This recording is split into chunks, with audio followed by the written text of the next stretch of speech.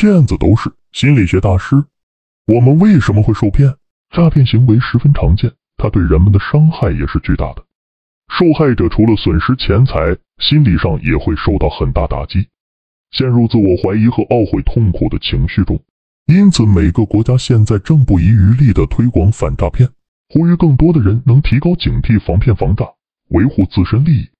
我想，应该没有人能拍胸口说自己从来没有上当受骗过，将来也绝对不会受骗。我自己也曾经历过被诈骗钱财，当时头脑一热便掏了钱给骗子。幸好损失不多，但却让我不得不深深的反思：为什么我们这么容易受骗？为什么骗子的骗术无论多简单蹩脚，但总是能得逞？为什么在人们提高了警惕，甚至还有旁人提醒的情况下，仍然会掉进骗局中？大概因为我们是人，必然有着许多人性的弱点，而片子。